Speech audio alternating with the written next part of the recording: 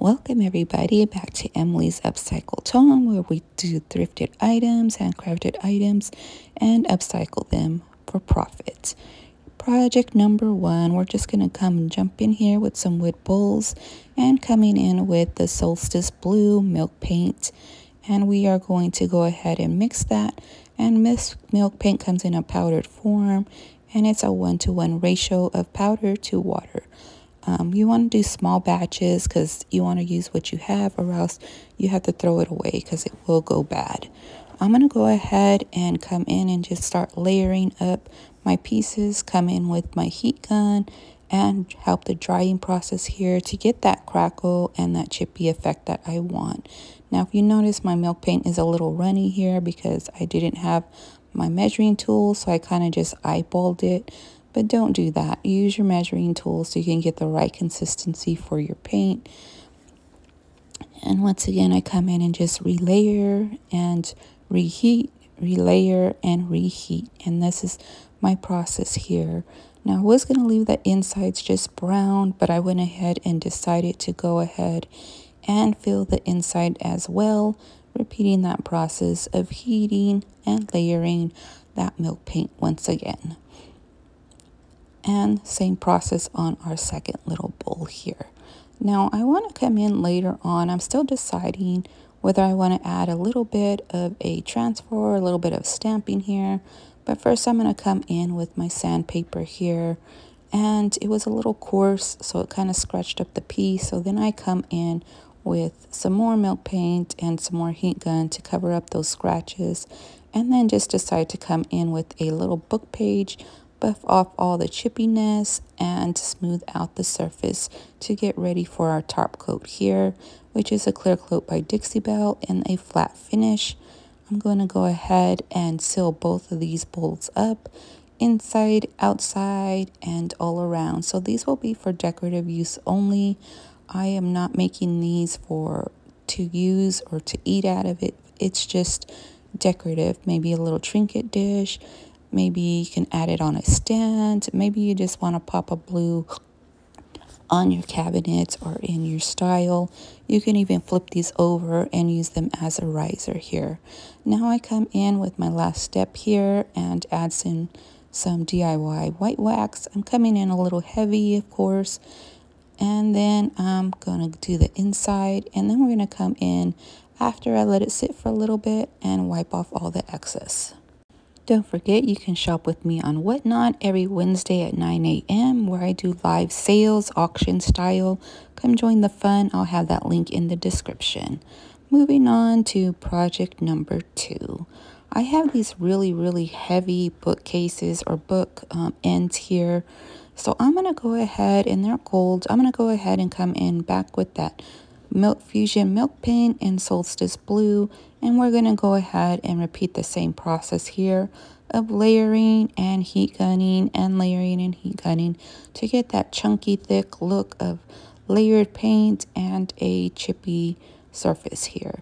Now for me, some of this paint comes off too much. So I go ahead and once again, add in a little bit of my sealer to my paint so that some of these pieces will stick the paint will stick a little bit better. And once I have all this covered here, I will come in with my heat gun, trying to avoid my heat gun for my brush because I melted some of my bristles here and I don't want to keep doing that. So I'm just kind of coming in and trying to place my brush to the side and just come in with that heat gun. Now, once again, to get the layering, effect here and that texture and that chunky paint layered look over time like someone just kept painting and painting it. You want to come in with your heat gun layer your paint and come back in again. That way it helps um, cure in its place and it dries and it helps that crackle effect. Now I'm coming in on the top and this is where I kind of get into a little bit more trouble where the um, paint just wants to fall off the surface Remember, milk paint works with a resistant surface, but if your surface is really resistant to the paint, you're going to get so much chippy. And this is what happened here. There was a lot of surface that was resisting the paint and it was just falling off. So once again, when that process happens, if you have your extra bond, that's where you want to add that into your milk paint. Or if you have a little bit of sealer like I did, I just came in and added a little bit of sealer to my paint and kept repeating that process of trying to get the look I want with not so much paint coming off, but just having enough to where I want it. And once again, milk paint is unpredictable. It's going to do what it wants to do. It's going to it's going to chip where it wants to chip and sometimes it's going to chip where you don't want it. And this is me adding that um, sealer into the milk paint here and then reapplying it back on here. And it still gave me a chippy surface here, but it was it wasn't so much chippy that was on the first one. Like almost all the paint was coming off and that's not the look that I wanted. So once again, come back in with your heat gun, reactivate that chippiness. And I'm just using a book page here because it works like a buffing tool and it gives you like a smooth surface as you work that paper onto the surface there. I'm going to finish up drying this piece and then I'm going to go ahead and seal the piece. And I find the more heat that you put onto the piece, the more the paint is going to bubble and chip. So now after I got the surface how I want, I'm going to go ahead, come in with my sealer, which is my white wax here. And I'm going to put this on and all, make sure it hits into all the little nooks and crannies of the crevices, layering up that white wax and all the sides of the piece. I'm going to let that sit for a little bit and then I come in with just my t-shirt here and wipe off all the excess.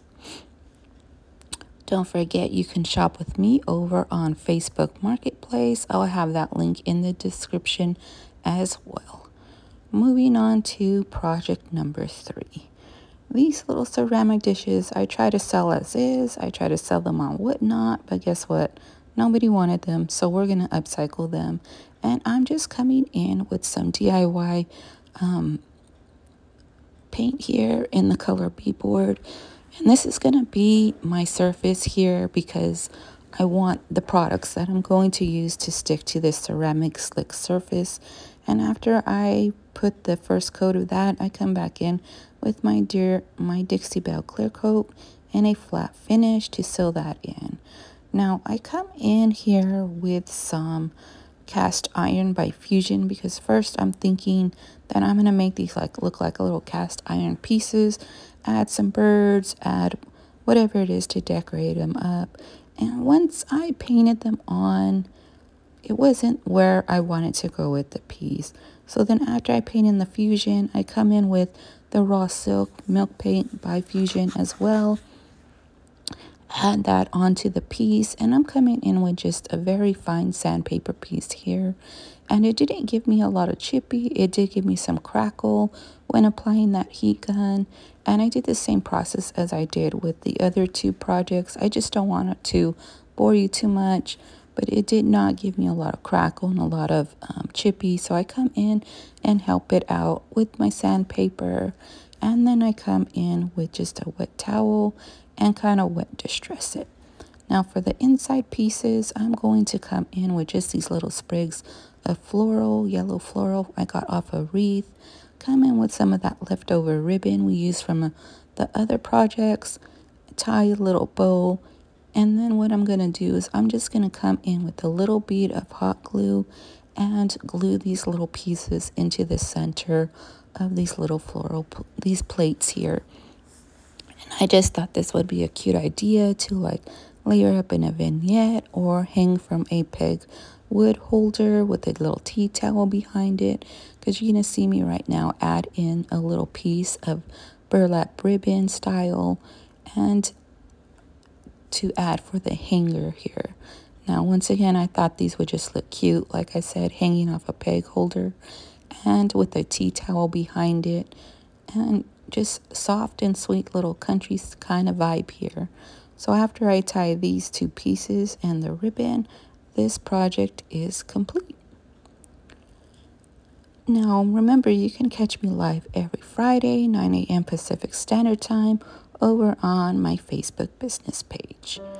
And here are the finished projects.